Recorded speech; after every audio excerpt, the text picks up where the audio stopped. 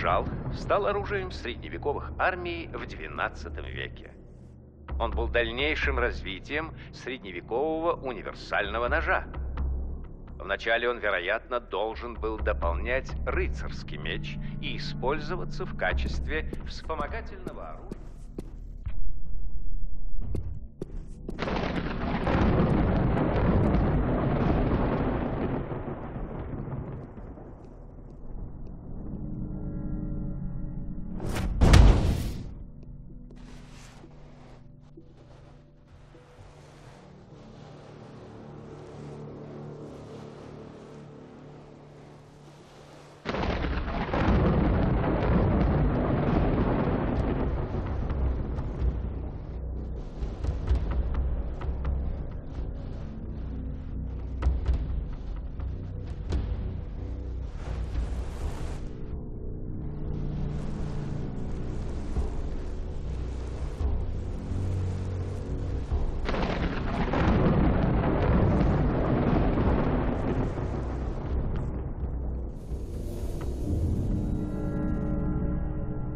Меч – символ власти и свободы, а также большого воинского почета.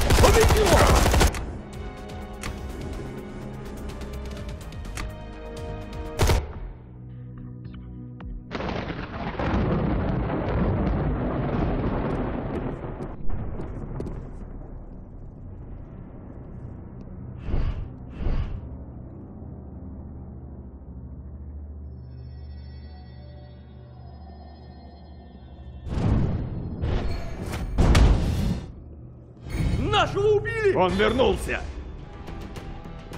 Выходи давай! Там кто-то есть! Максим, прикрой!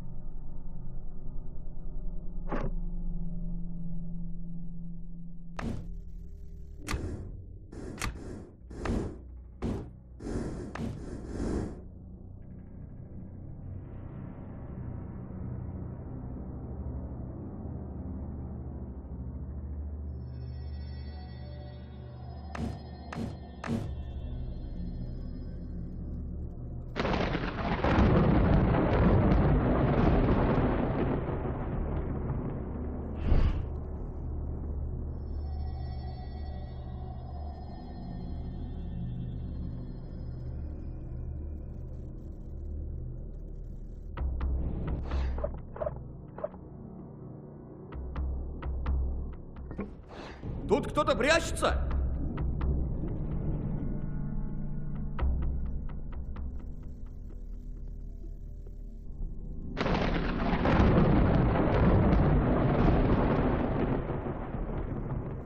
Ничего, ошибся, наверное.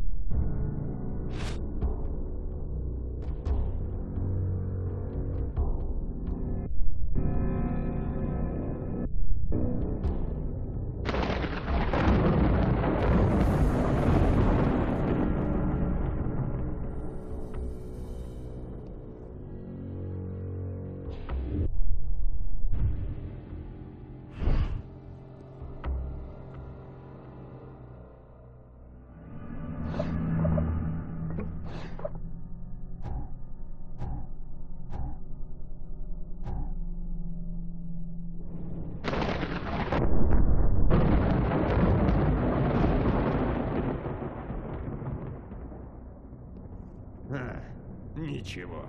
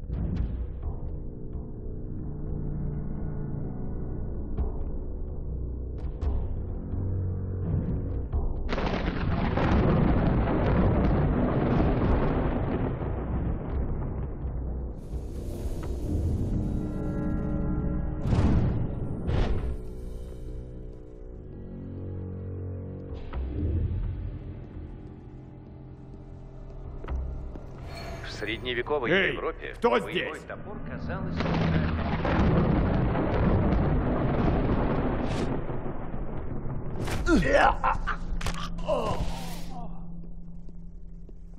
У нас потери!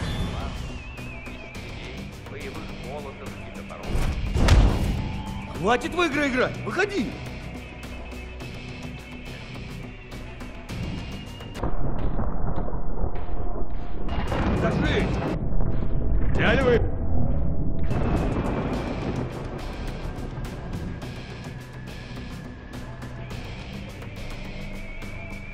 Хватит в игры играть, выходи!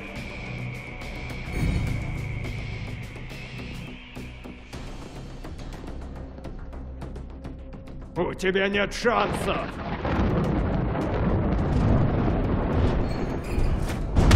Там кто-то есть.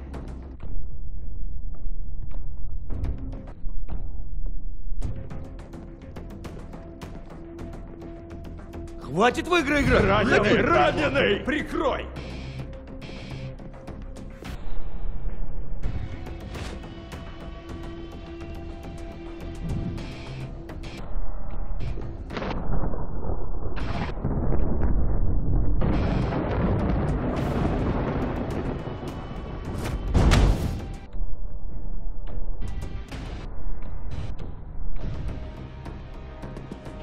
Ну что, тебя найдем и кончим.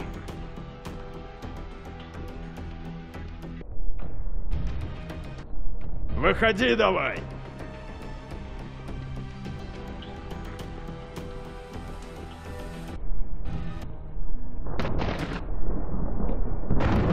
У тебя нет шансов!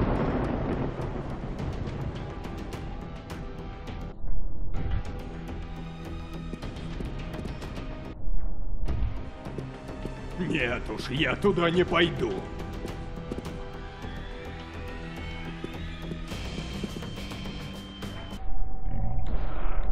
Нет, мы останемся тут!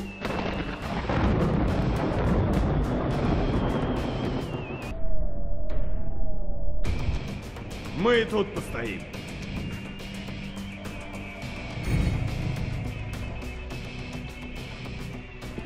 Нет уж, мы останемся тут.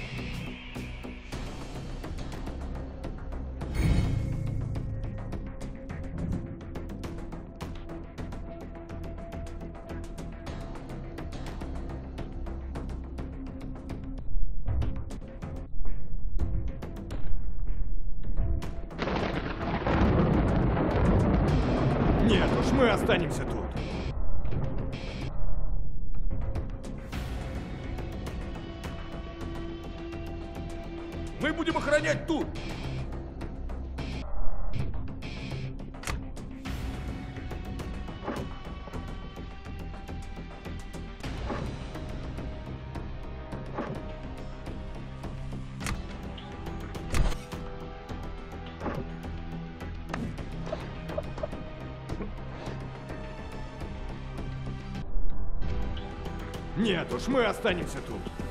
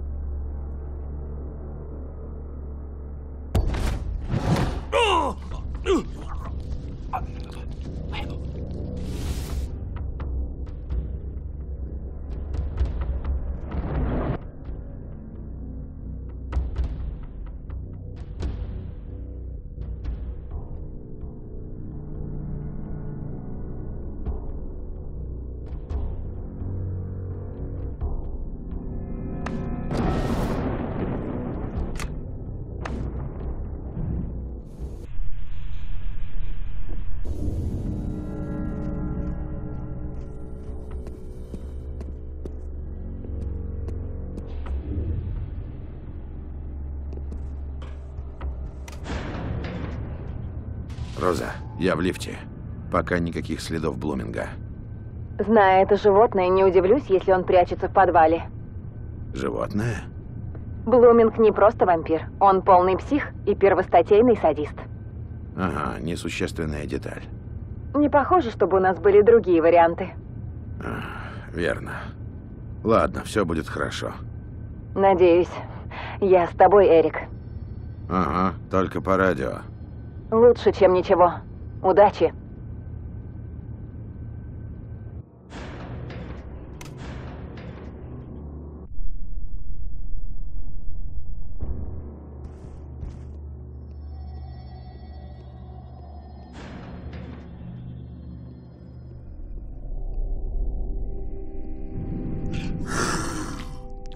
Роза, а зомби тоже существуют? Нет, тех, о ком ты говоришь, мы называем упырями. Вот что происходит с полувампирами, которые не могут выпить крови своего создателя. Я скоро таким стану, да? Если не выпьешь кровь Блуминга, Эрик.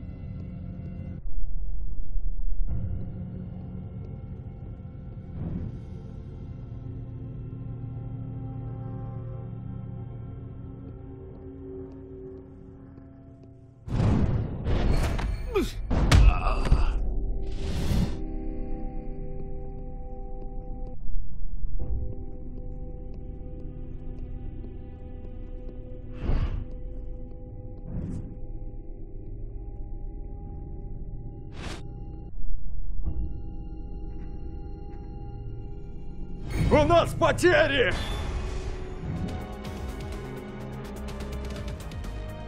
Прикрой, я его достану! Хватит в игры играть! Э.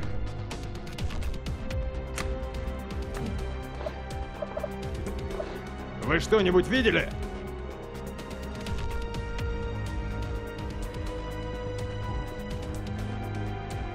Черт, куда он делся? Вот он!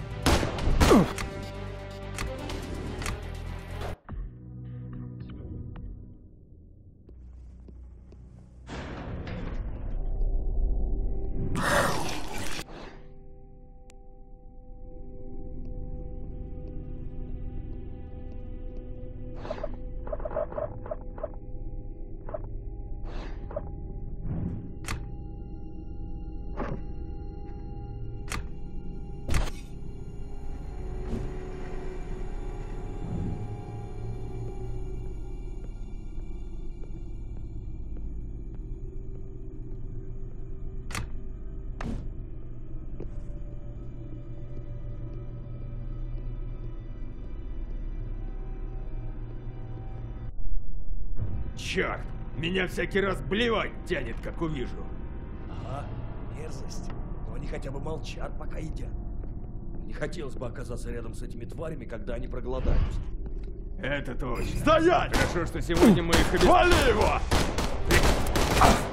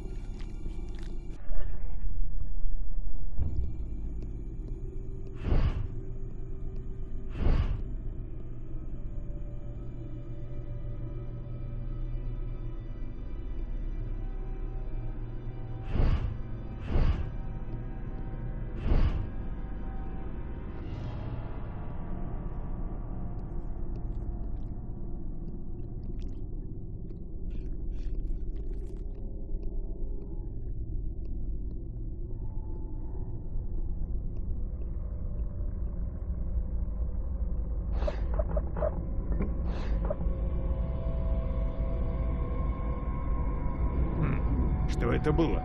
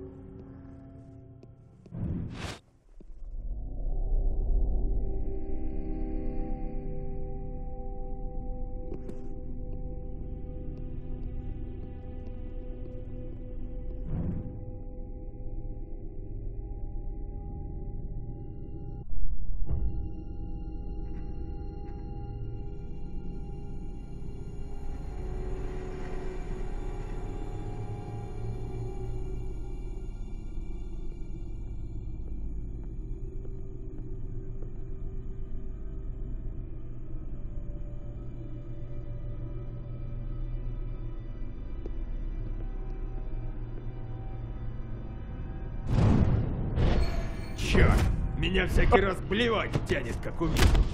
Ага, мерзость. Они хотя бы молчат, пока едят. Не хотелось бы оказаться рядом с этими тварями, когда они проголодаются. Это точно. Хорошо, что сегодня мы их обеспечили едой на несколько недель вперед. Да уж, заставлять посетителей исчезать каждый раз целая история.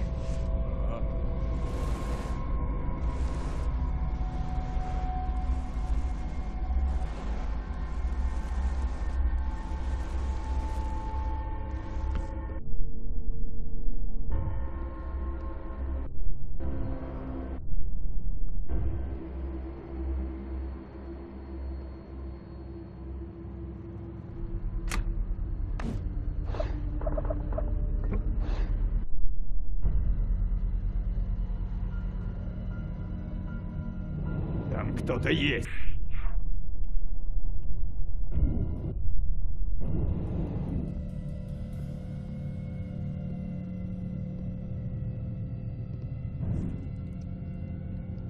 Наверное, показалось.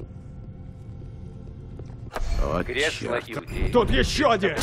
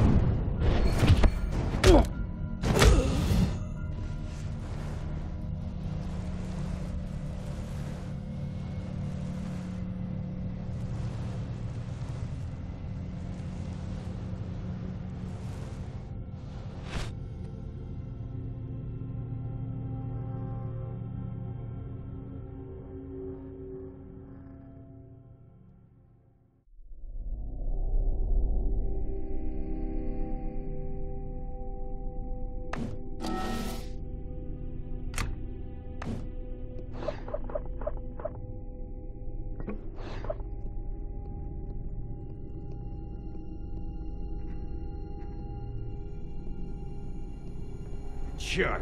Меня всякий раз блевать тянет, как увижу. Ага, мерзость. Но они хотя бы молчат, пока едят. Не хотелось бы оказаться рядом с этими тварями, когда они проголодаются. Это точно. Хорошо, что сегодня мы их обеспечили едой на несколько недель вперед. Да уж, заставлять посетителей исчезать каждый раз целая история. Ага.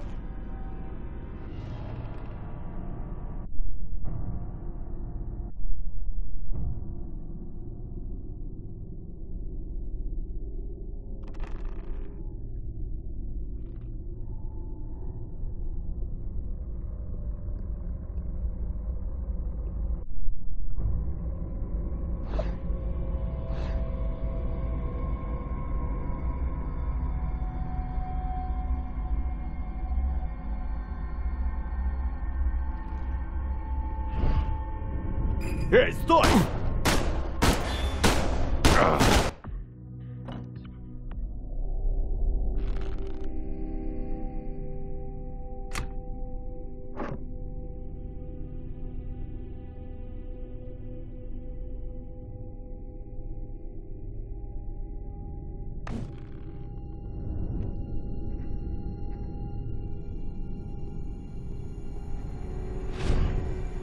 Какого черта?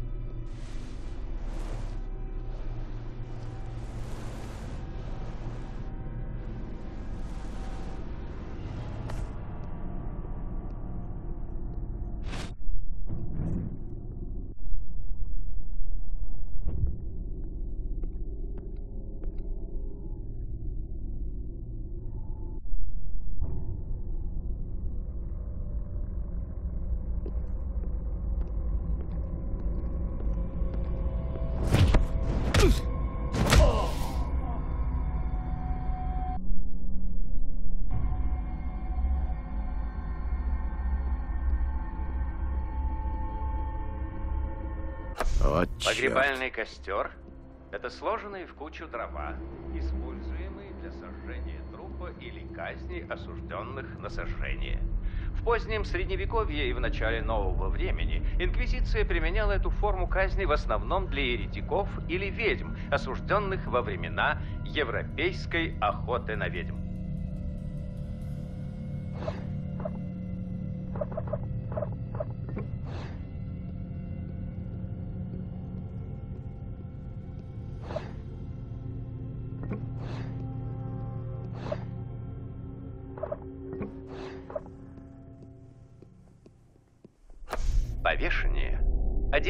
Старейших видов казни. На шею приговоренного надевали петлю, после чего из-под ног выбивали опору, чтобы шея несла весь вес тела. Человек погибал от перелома шеи или удушья. Железное дева – деревянный или металлический шкаф, обычно имевший форму женщины, изнутри обитый гвоздями или шипами. Хотя она нередко ассоциируется со средними веками, на самом деле ее изобретение относится к XIX веку. Кресло иудеев представлял собой сужающийся кверху деревянный чурбан, нередко с металлическими шипами, на который сажали пытаемого, разведя ему ноги, а затем связав их. В результате ноги не доставали до земли, и весь вес тела приходился на кол между ногами.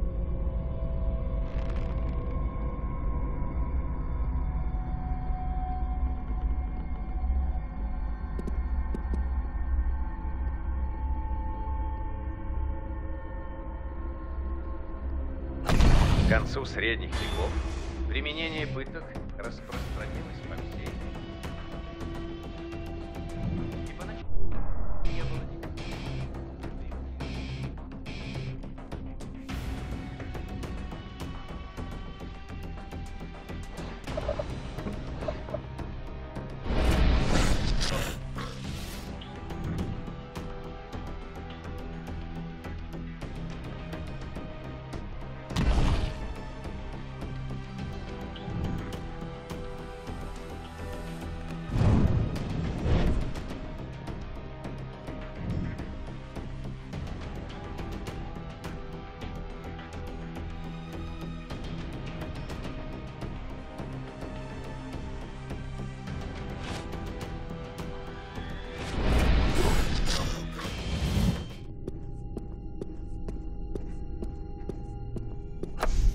концу средних веков применение пыток распространилось по всей территории Священной Римской империи. И поначалу не было никаких законов, регулировавших их использование. Считалось, что пытка необходима для установления вины в преступлениях, и что Бог дает невинным силу выдержать муки. В средние века пыточные инструменты применялись при расследованиях для проведения допросов с пристрастием.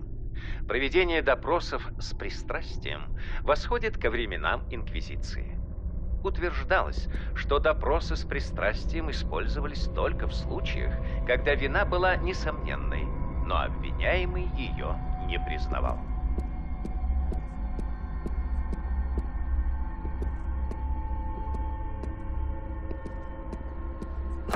Гильотина. Устройство для смертной казни через отсечение головы, названное по имени французского врача Жозефа Игнаса Гильотена. Она убивает приговоренного быстро и без риска удушения. Среди населения существование всего одного вида казней для гражданских лиц считалось признаком равенства –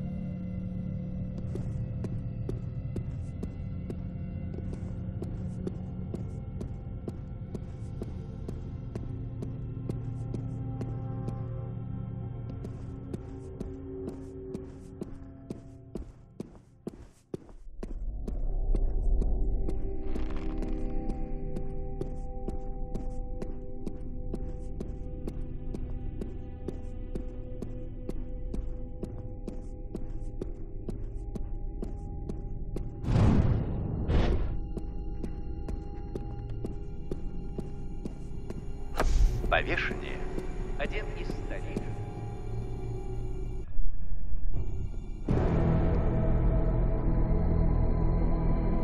Быстрее, Эрик, быстрее.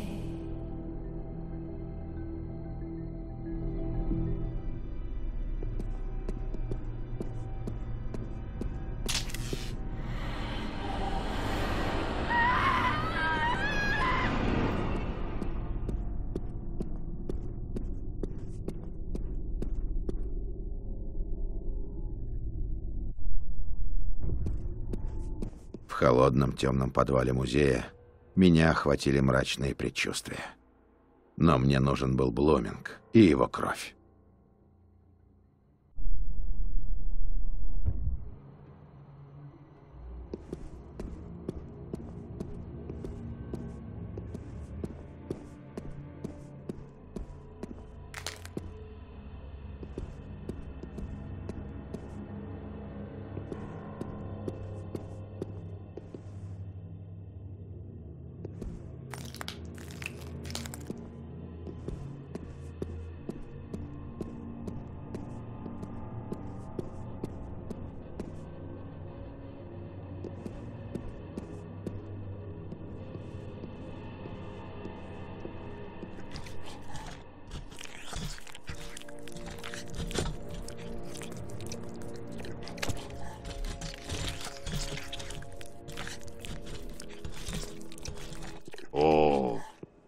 Нас гость. М, у тебя красивые руки. Очень красивые. Они будут хорошо смотреться с теми, которое я только что отрезал. Вперед! Принесите мне его руки!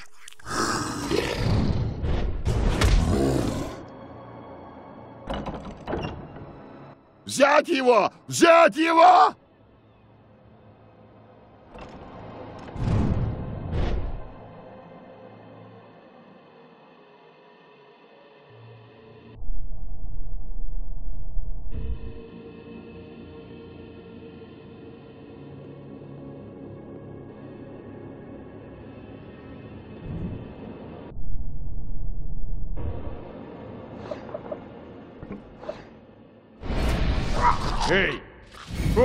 Нашего!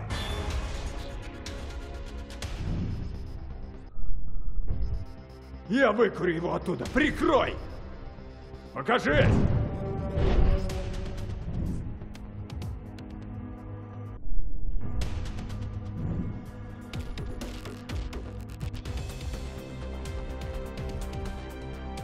Тут уже никого нет. У тебя нет шансов!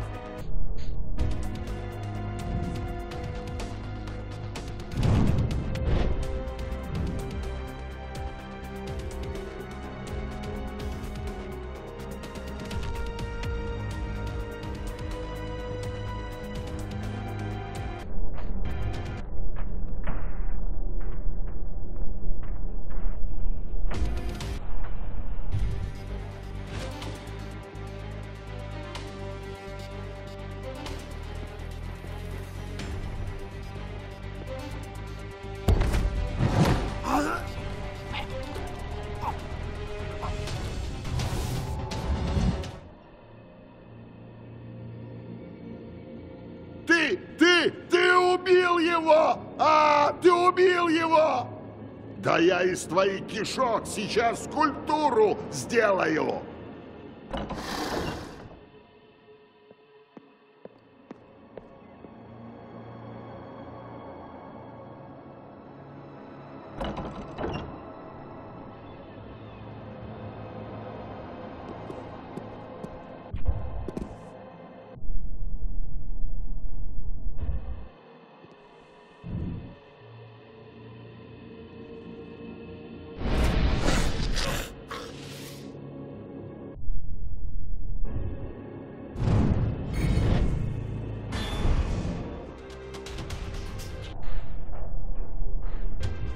Его видел! Мы тебя найдем и прик... Эм.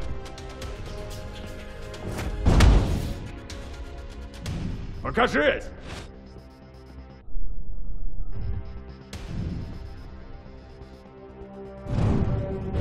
Он тут!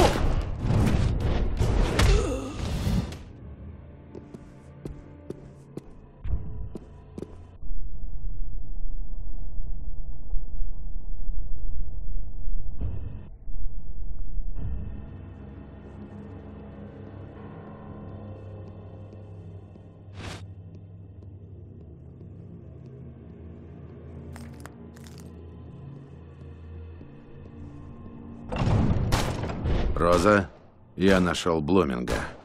Этот парень режет трупы и делает из них скульптуры. Ты знала? Нет, понятия не имела. Но следовало ожидать чего-то подобного от этого психа. Ладно, я о нем позабочусь. Есть причины этого не делать? Нет, никаких. Только помни, тебе нужна его кровь, пока он жив.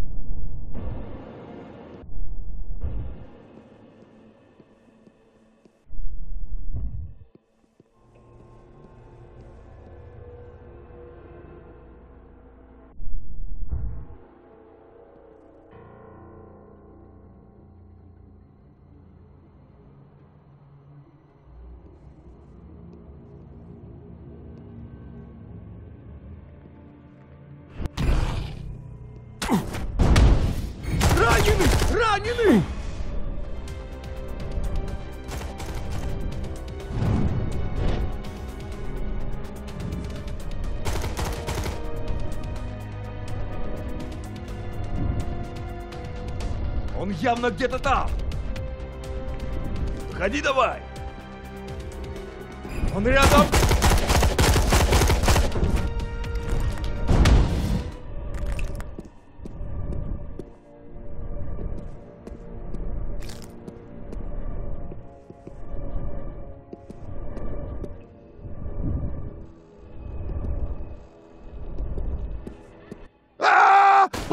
Ты не умираешь? А! А!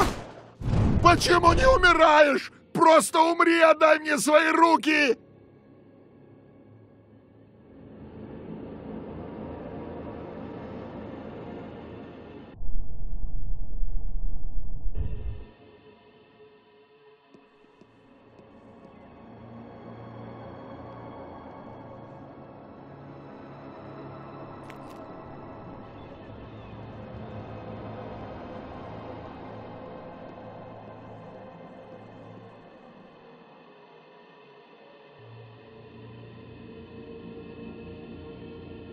Взять его!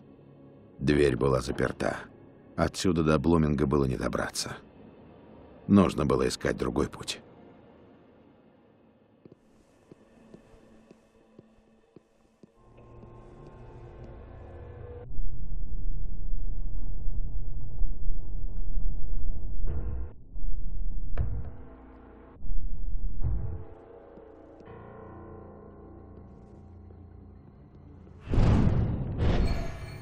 Тут кто-то прячется?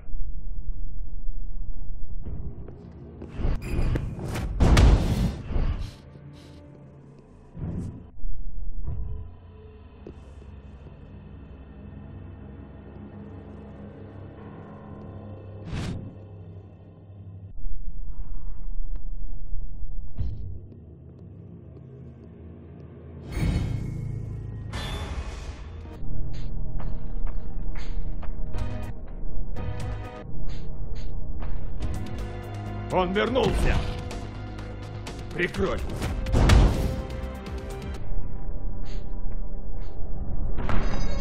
Вали его!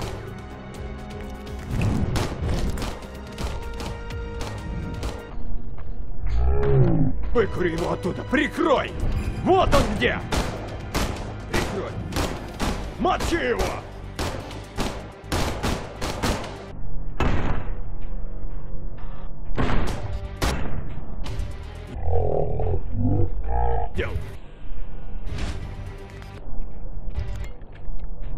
Тебя найдем и... Ой.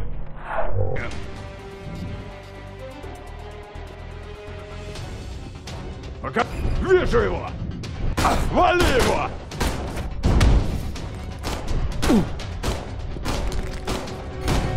Убить его! Вот он!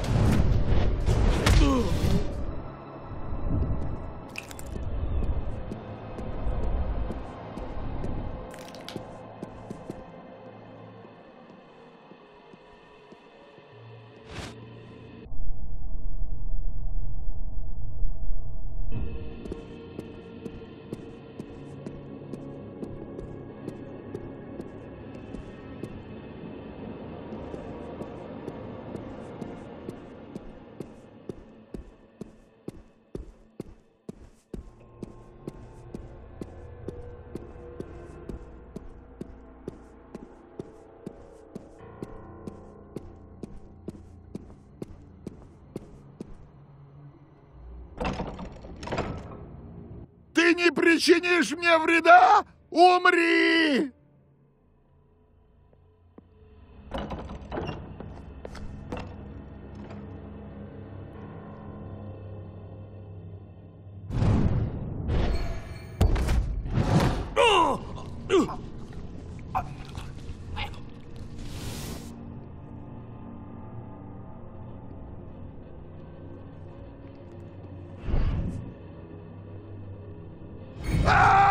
Почему ты не умираешь?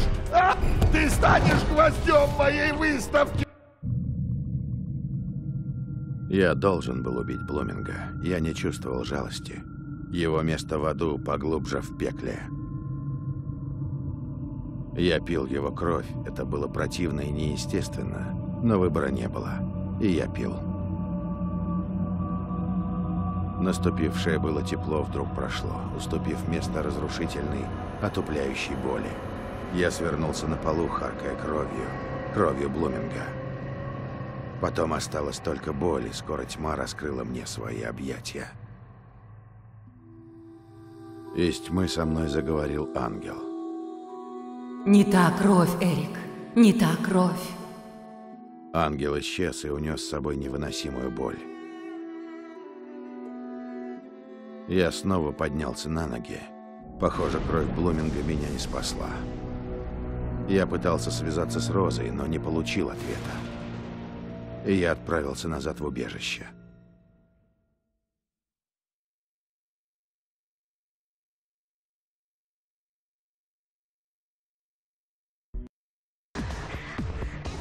Я вошел в убежище, и меня встретила знакомая громкая музыка.